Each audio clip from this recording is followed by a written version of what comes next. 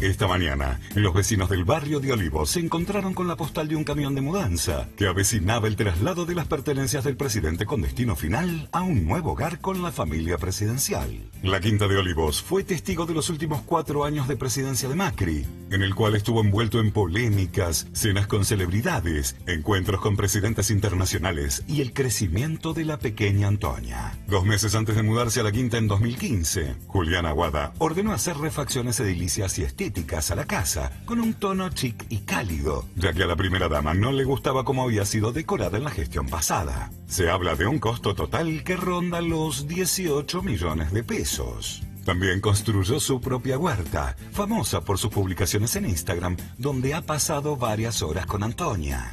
Siempre me gustaron las huertas, ah, siempre. En nuestra quinta, donde vamos todos los fines de semana en San Miguel, tengo dos cajones. El abrojo, ¿no? Pues, el abrojo. Los abrojos. Los abrojos.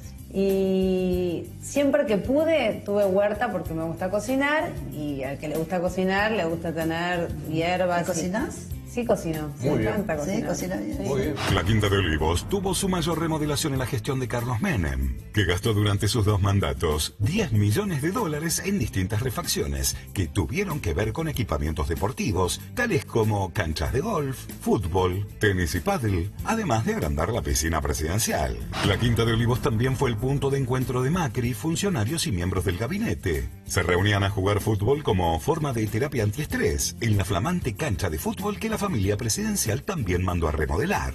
La residencia también fue protagonista de reuniones entre la familia presidencial y famosos. Este último 26 de noviembre, Macri se despidió de la quinta invitando a Susana, Mariana Fabiani, Oscar Martínez, Guillermo Franchella, entre otros. Junto a Mirta Legrand, han hecho un almuerzo especial que fue televisado. Y también Tinelli fue recibido en varias oportunidades antes del quiebre de su relación. Detrás de los muros de la Quinta de Olivos se toman las decisiones más difíciles del país. Con sus 35 hectáreas arboladas y custodiadas, guardan misterios, secretos y enigmas aún sin revelar. Lo cierto es que Macri y su familia se despiden de la extraordinaria quinta y próximamente Alberto Fernández y su familia serán los nuevos inquilinos.